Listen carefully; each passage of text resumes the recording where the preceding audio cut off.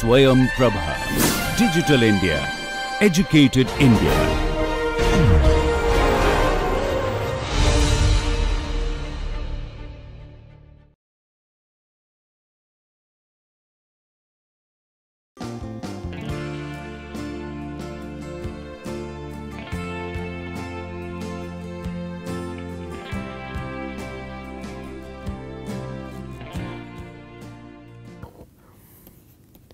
Dissipation.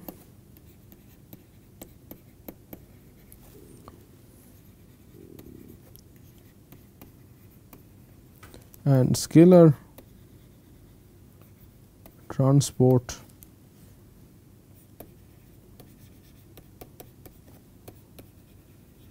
For mixture fraction z. Okay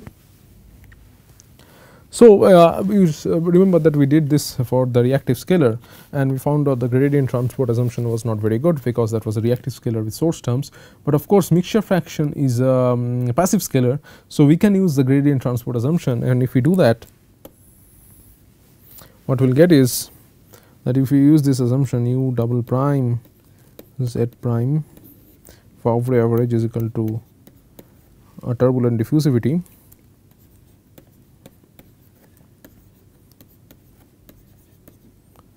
Now, this is of course not true, it is not ab initio, it is just a model. From gradient transport.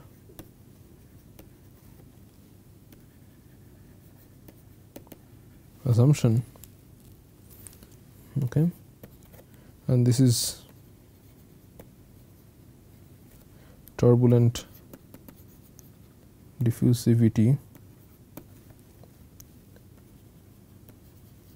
modeled in analogy with eddy viscosity whereas dt is equal to nu t by turbulent Schmidt number nu t is the uh, is the turbulent eddy viscosity and this is a turbulent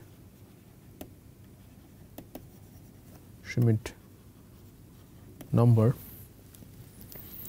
Okay, then one can derive an equation of um, mean mixture fraction. Essentially if you can derive an equation for the y's you can essentially derive an mixture equation of mean mixture fraction.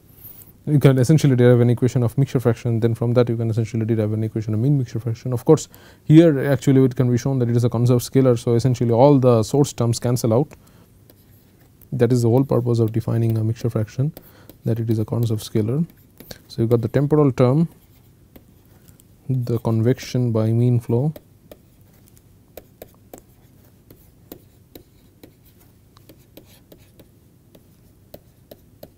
okay.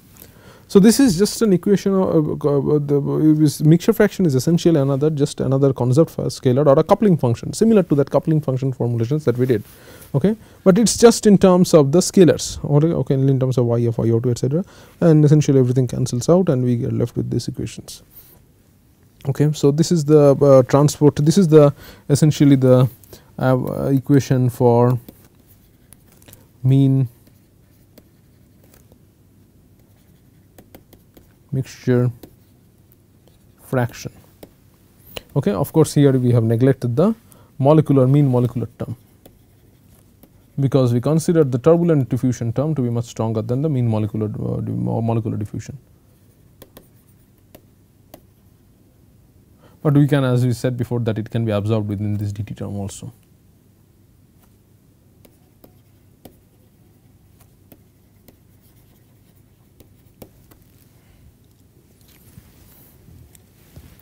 Okay. Now, we also need an equation of z prime, will see why.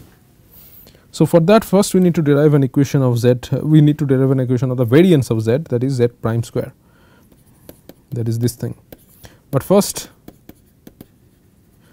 derive an equation for z double prime and that is given by this you should derive this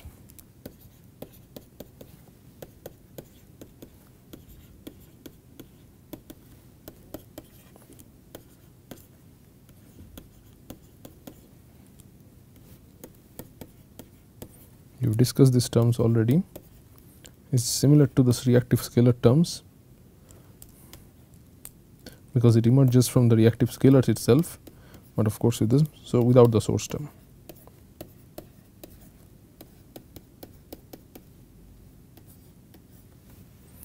Okay. Now, uh, here of course, we have uh, if we uh, consider that this uh, rho d etc. and their uh, mean uh, gradients are neglected for simplicity. So, essentially the first two terms on the RHS can be combined to obtain a term which is proportional to this thing okay. and then by multiplying the whole thing by um, multiplying by twice rho z prime okay? We can get an equation for z double prime square.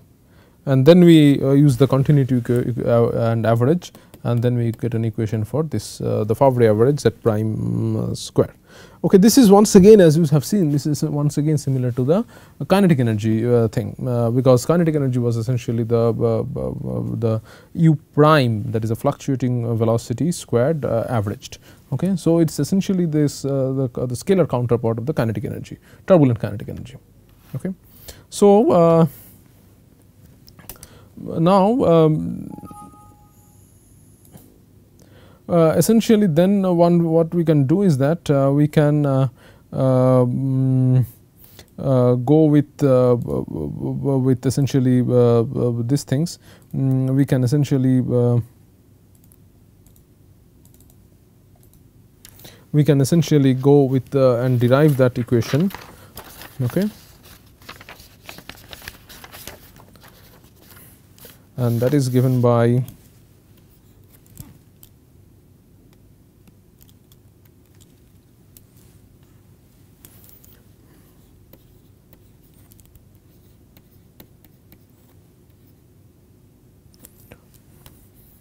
that is equation of this is the transport equation for z prime square Favre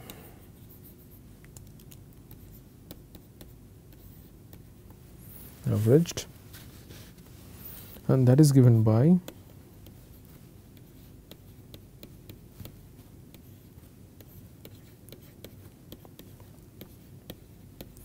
transient term convective term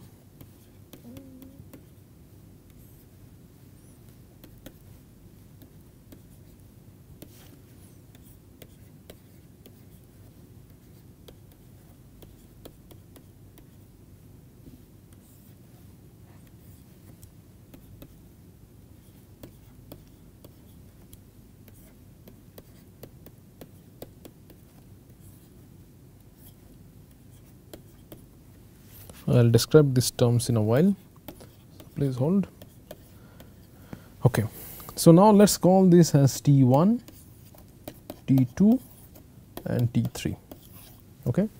So uh, the left hand side of course this is the transient term and this is the convection of uh, the variance of z by the mean velocity that is u Uh, you you uh, you uh, Favre averaged. Okay. On the right hand side, you get these three terms, and this once again needs an explanation, just like the way we explained the previous uh, uh, previous reactive scalars. Okay. So T one is essentially a turbulent transport term. T two you see once again this is similar to the Reynolds stress terms if it were in terms of velocity this is similar to the Reynolds stress terms and this is like the uh, the this is a tilde of course like the mean uh, velocity gradient. So, here you essentially have a flux of uh, the velocity uh, and joint uh, uh, covariance of velocity fluctuation and scalar fluctuation mixture fraction fluctuations and that is supported with this mean mixture fraction gradient. So, this causes essentially it can be shown that essentially and this essentially causes the the production of the z prime fluctuation. So, once you have these terms and non-zero once you have this term non-zero this essentially increases acts as a source for uh, z prime fluctuations okay. This adds to the fluctuations and once again this will essentially be a dissipation term. But let us write this down this is essentially the mean uh, this is the production of scalar fluctuations. Okay. And the once again here we have neglected the mean molecular transport term for simplicity, uh, but of course we will see that the, the, molecular diffusivity does not vanish and it arrives and it comes back in the uh, Favre averaged uh, scalar dissipation rate term that is which is this term. So, this is essentially Xi tilde. Is essentially 2 d by the way here d essentially we have assumed that Lewis number equal to 1. So, d is essentially di. So, thermal diffusivity equal to molecular diffusivity and uh, the diffusivity of all species are also equal. So, that assumption is there.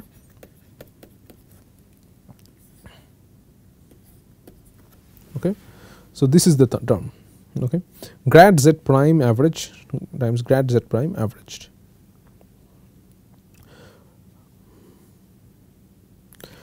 Okay.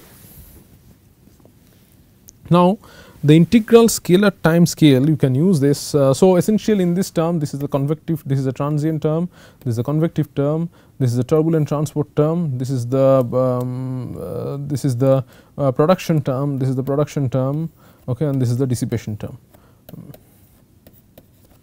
okay.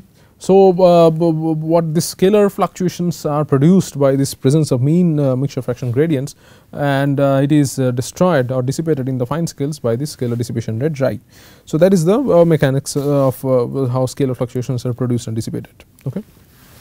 And one can be what can be shown also that is essentially it takes essentially this this essentially takes the the large scale large scale mixture fraction gradients and uh, then it uh, essentially creates this scalar uh, fluctuations at large scales and essentially this will be dissipated at the small scales. Okay. So, once again here also you will see that there is a cascade of essentially scalar fluctuations.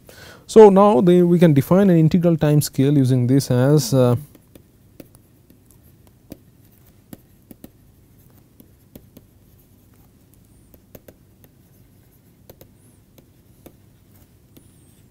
uh, Now z is equal to z prime square Favre average distributed by the scalar dissipation rate.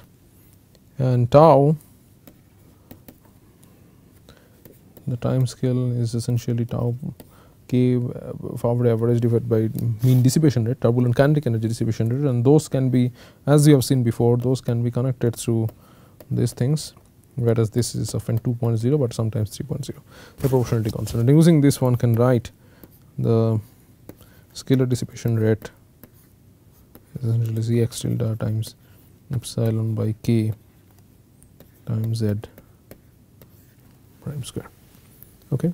This is often called the scalar dissipation rate anomaly because you see that scalar dissipation rate is a small scale quantity, but uh, here you do not have any diffusivity essentially. Okay. So, it is essentially dependent only on the mean dissipation rate and the um, turbulent kinetic energy dissipation rate and the turbulent kinetic energy average and the uh, scalar fluctuation uh, and the variance of scalar fluctuations. Okay. So, uh, this is the uh, the thing and then uh, we will use this we have essentially de derived what we have done here is that we have derived an equation for z we have derived the governing equation or not derived we have just written down rather the governing equation, but we have shown you how the what are the steps to derive. You should derive. We have we have shown the steps to for the governing equations for z tilde and z prime uh, z prime square tilde. Okay? There is a mean mixture fraction Favre averaged mixture fraction and the uh, Favre variance of mixture fraction fluctuations. Okay, so, we have obtained this. So, this is a very important step, you will see why. Okay. Using this, we can we will show that we can essentially use the flamelet model. Now, what is the flamelet model?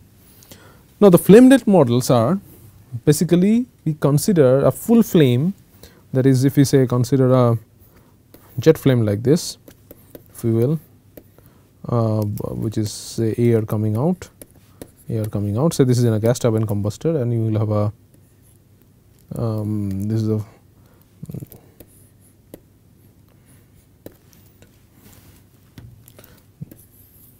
so this is a this is a flame. So, we will see we will consider that each of these are essentially flamelets. Okay. So, this whole flame, so these are essentially say temperature, temperature like this. So, whole of this flame, okay. So, temperature goes down when you go away from the flame, temperature goes down when you go away from the flame on this side also. Okay. So, you have the flame here. So, this whole big flame is essentially an ensemble of infinitely large number of flamelets. Okay. So, that is the idea of this flamelet model that the whole flame is essentially composed of many flamelets and flamelets are essentially thin reactive diffusive layers. Okay. These are essentially thin reactive diffusive layers which are embedded in an otherwise non-reacting turbulent flow field. Okay. So, the otherwise the flow field is non-reacting. So, where you have got these flamelets and these are embedded in the non-reacting flow field and the flamelet structure is justified if the thickness of the inner layer of the fuel consumption layer where the reaction layer happens which is essentially infinitesimal uh, small in the fast reaction limit is much much smaller than the Kolmogorov length scale. So, that the Kolmogorov length scale does not disturb your inherent flamelet structure. So, inherent flame structure. So, our flamelet structure is justified only in that case. Okay. So, what we will do is that this flamelet model is essentially a, a combination of the we will see that is equation of z and z prime square that we have obtained and plus this 1D chambered flame solutions that we obtain in the mixture fraction space. Okay. So, this coupled with this 1D laminar flame, okay. these are essentially our flamelets, flamelet solutions and this gives rise to flamelet model. Okay. So, that is the whole idea behind this flamelet model. So, we will see uh, essentially that the flamelet concept focus on the location of the flame surface and not reactive scalars. In this flamelet concept will not in the there are essentially two versions of the flamelet model that we will discuss. In the first one we will not even go to solve for the reactive scalars. Okay. What we will do is essentially solve for the mixture fraction the average we will solve for the z and the z prime square. Okay. Will not even solve for the mixture fractions. Later we will do that. We will not even solve for the uh, reactive scalars, we will solve for the mixture fractions. Okay. So, the essentially first important thing is that essentially to find out the location of the flame surface and what is the location of the flame surface? The ZST, the iso contour or the iso surface ZST stoichiometric will be my location of the flame surface. Okay. Now, this location is defined as the isosurface as we have said is the non-reacting scalar quantity z and this non-reacting scalar quantity z is a is a conserved scalar because it does not have any source term in the transport equation and the statistical moments of the reactive scalars will be obtained using the statistical distribution of the scalar z. How? We will obtain the statistical distribution of the z by the z prime and the z double prime square equations and then we have to obtain we have to find out somehow by which we can relate Rai the reactive scalar as a function of z. Okay. This can be either done through uh, some kind of a uh, like a model that is we assume that the solution of the 1D flame that we have done is valid everywhere okay and or the other way is to basically solve for Jaya as a function of z we will do both okay. Now, but the other thing is that there is one more step in between that is just by knowing z prime and z double prime square we this Jaya is a function of z one Jaya from one z. So, to map that essentially we need to know a distribution of z okay and we will have to find out how we can describe a distribution of z. So, essentially so, but the advantage is that is that you see you, you uh, the problem was with reactive scalars handling reactive scalars was that the reactive scalars we could not apply the classical non-reacting turbulence modeling strategy okay? Because a they did not obey sometimes the gradient transfer assumption assumption. There is a huge closure problem for the the, uh, the mean reaction rate. So, as soon as you define go to a you basically then you have a take a detour. And instead of directly attacking to solve for the mean reactive scalar space that is you instead of so trying to solve for xi i which creates problems we do not go for that approach. Okay rather we go for solving for the non reactive scalar or essentially this conserved scalar which is this z prime z tilde that is the Favre average z and this one. Okay? And then we map this reactive scalar xi to z using either the 1D flame solution or an equilibrium solution that we obtained or by solving for this. We will show both. So, this is the flamelet approach. Is it clear to you? Uh, it is a very beautiful concept. See that because xi i poses problems. You have problems with closing xi i it does not it does not obey your classical gradient transport assumption. It does not obey your um, uh, closure. Uh, but the, the reaction rate cannot be closed properly okay and we have to resort to some like ad hoc uh, modeling things like eddy breakup model eddy dissipation concept etc. So, a more elegant approach is that you go for a scalar okay you go for a conserved scalar which obeys gradient transport assumption and which does not even have a source term. What is that scalar? That scalar is z mixture fraction. Okay. So, then you basically solve for z tilde and then you solve for z prime okay. And then you map your reactive scalar onto this z. Okay. Now, of course, you have to do one to one mapping and for that you need only z and z prime is not enough you need to basically find a PDF of z and we will see that that PDF of z can be formed just by using the knowledge of z averaged that is a Favre average z and z prime uh, the variance of z. Okay. So, using this you can find essentially the PDF of z and then you can essentially map the reactive scalar into z space 1 to 1 and then you can find out the reactive scalar at each point in space. Okay. So, that is the beauty of this flamelet model. Of course, it has its own inherent assumptions and uh, you are assuming that at each point is essentially the flamelet behaves as if it is a 1D flame. So, uh, but that those assumptions can be defined as uh, more and more as we will see later. Okay.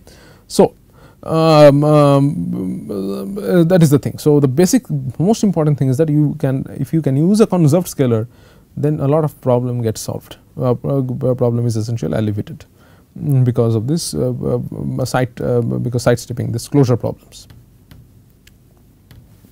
Okay. So, so we will see that or we will use the models essentially based on the presumed shape uh, PDF approach and that will require the knowledge of Favre mean z average and z prime square which we have already obtained. And using the gradient transport assumption hypothesis in the Favre average mixture fraction we have obtained this equation. Here rho bar is essentially if you see rho bar is essentially rho average so, they do not make a discrimination between these two. Okay, sometimes we use rho bar as typically we use rho um, uh, typically we use bar for time average and rho bar for ensemble average. So, here your rho bar is equal to rho uh, angular brackets and of course, you have used that d is essentially less than dt. Okay. So, the equation of for uh, z prime square uh, is this which we have just obtained and uh, now if you remember if we go back uh, here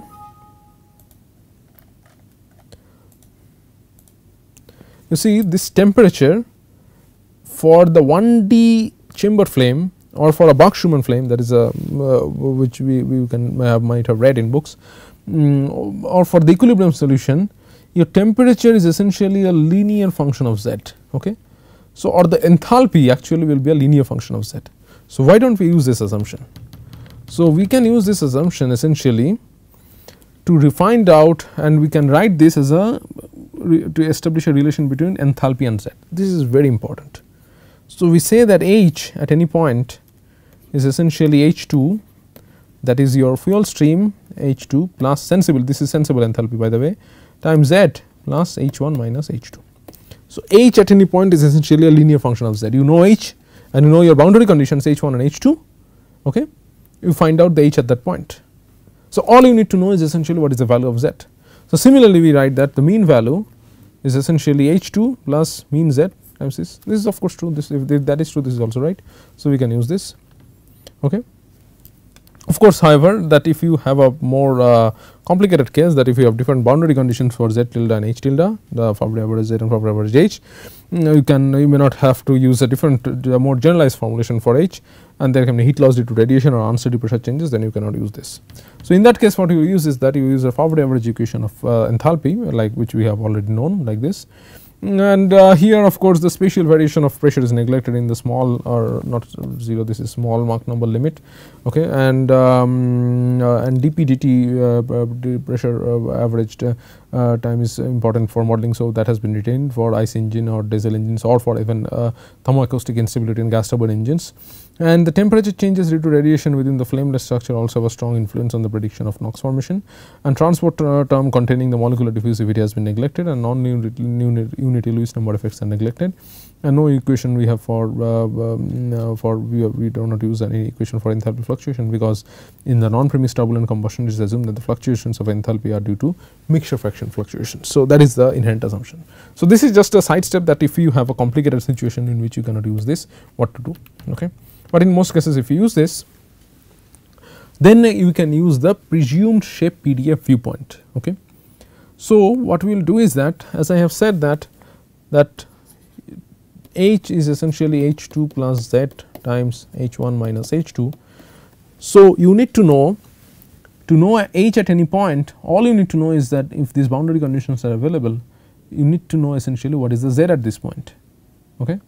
But when you have in a, in uh, in uh, RANS uh, a, in, an average simulation of course, uh, when you have uh, done this equation of z, all you have essentially solved the equation of z okay, and z prime square. Of course, you must remember that only this solving this equation is not enough you have to solve for the average equation of u that is a momentum equation the uh, the uh, continuity equation also and um, uh, along with the k equation and the epsilon equation also. So, only then uh, you can basically solve uh, have this equation of z prime and z prime squared because you see that those equations you have already obtained this um, this to get this to to get this first you need to have mean u prime and mean k prime. So, you can obtain those by the Reynolds average Navier-Stokes equation. Okay. So, that is of course implied that uh, only solving for z and z prime is not enough. Uh, you have to solve for u prime, uh, u u u uh, averaged uh, equation and k averaged equation and epsilon averaged equation also. Um, uh, so, but once you do that, you have an you have a essentially a distribution of z and z prime square at each point in the flow. But that is not enough. Why? Because enthalpy at each point is essentially a, a, function of z at each point. So, what you need to do is that using this you need to basically generate all possible values of z. What is that? Essentially that is a PDF of z. Okay. So, what we do is that we essentially assume a shape of PDF exists for a different for a given flow of flow turbulent uh, flow. Okay. So, that is done by this presumed PDF model which is also known as the conserved scalar equilibrium model we will presume a 2 parameter PDF in advance which in turn fix the functional form for the PDF of 2 parameters known in terms of z and z prime. So, we will obtain a PDF okay, something like this z is a PDF of z and this is only a function of z average and z prime square. Okay. So, at each point as soon as you know this by solving all the RANS equation that is by solving um, okay that is uh, by uh, by solving all these equations you obtain uh, this PDF okay? And then you can find out uh, the h. Now i'll just uh, for simplicity i'll just tell you, the steps. So first you solve for the continuity equation okay? Averaged continuity equation. Uh, this angular brackets mean averaged. You solve for the averaged momentum equation. It might be need to be solved in, uh, in, in sync not alone. You solve for the average k equation, you solve for the average epsilon equation okay and then you solve for the average or the Favre averaged this this string should be Favre averaged or you can essentially solve the, the um, uh, you essentially get these terms essentially here okay uh, this is just a Favre averaged also. So, u v uh, w uh, equation you get and uh, density you get you pressure uh, you get okay? And then you solve for essentially uh, the turbulent kinetic energy using the methods which you have described before. All this you solve and then you solve for this equation z and z prime okay? But of course you see in a in a real uh, condition you can have numerous of these reactive scalars which you are not solving for. So the computational uh, load is also reduced. So you solve for all these things okay so now after this okay you have not solved for any of the reactive scalars so this not solved these governing equations to be solved okay uh, governing equations to solve this along with uh, plus constitutive relations. Will solve this. Xi i not solved.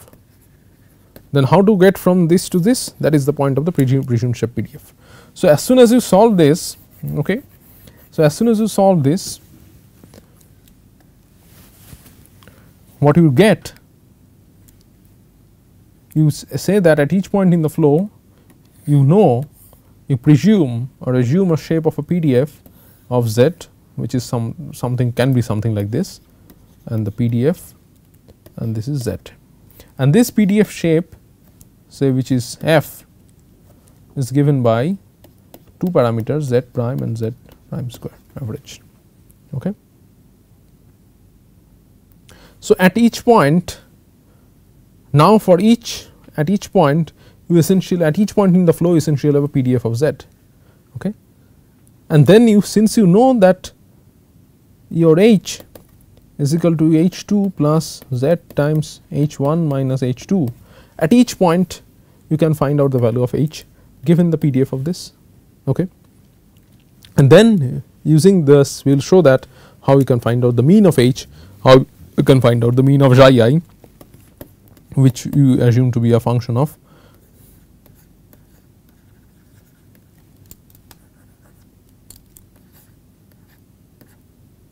which is will be essentially a function of z. Okay. So, that is the idea.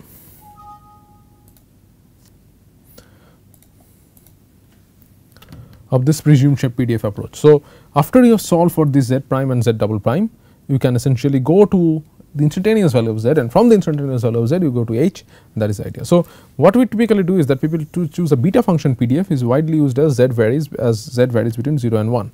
So, this is the PDF form that people choose for non-premix combustion. So, this p tilde is the Favre uh, PDF z at, uh, at, each point which is given by this form.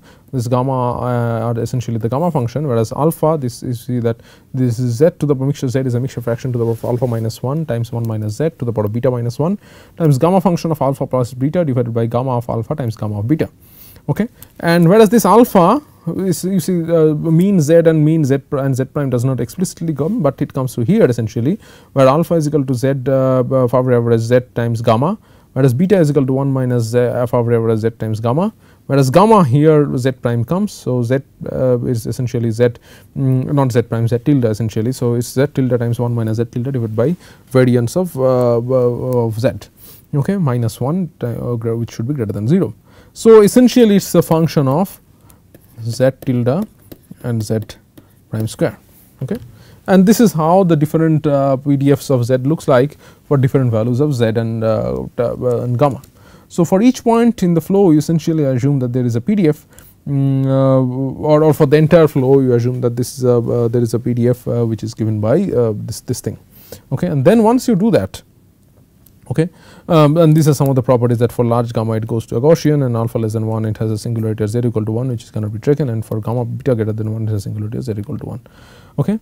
But then the thing is that once this PDF is obtained you can get assuming that this xi i by this 1D chamber flame uh, model okay uh, we, we, you what we obtained that we uh, we can write that xi i is essentially only a function of z okay that because we have essentially we have shown that essentially z behaves like an independent variable. So, using this presumed shape PDF approach the mean of any reactive scalar is essentially a function of z.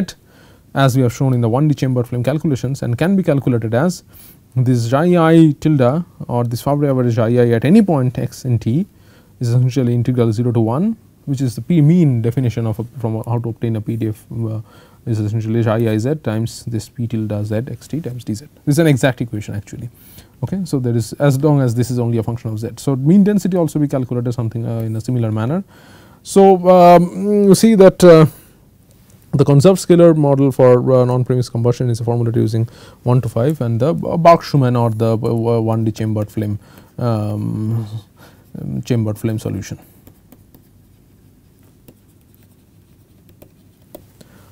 Okay.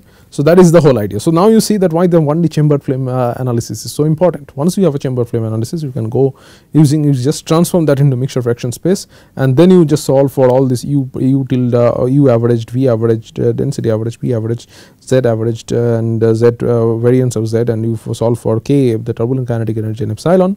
And then as soon as you have that you construct this presumed PDF of, of, of z. And then uh, by the assumption of, or that you know as you know as uh, these all the local flames essentially behave typically like a 1D chamber flame uh, and where the xi is a function of xi is xi z. And immediately using that you can find out the model of the averaged value of xi at each point in flow. Okay, so without actually solving for xi i just by solving for z and because xi i is a function of z uh, we just can obtain this uh, PDFs of uh, i. Okay, so that is the whole whole point of this thing. Okay. So, laminar um, uh, so this this will uh, uh, consider uh, take up in the in the next class that uh, there can be alternative methods by which uh, so here we have to the you see the limitation of this method is that here you have to assume that at each point in the flow the 1D chamber flame of this Burke-Schumann solution this simplified laminar solution is valid at each point in the flow. So, that is a little bit restricted assumption, but that can be relaxed when you essentially solve for xi i uh, as a function of z explicitly without using resorting to this uh, solution. We can also directly solve for uh, xi i and that will be taken up in the next class. So, till then um, goodbye and see you in the next class again.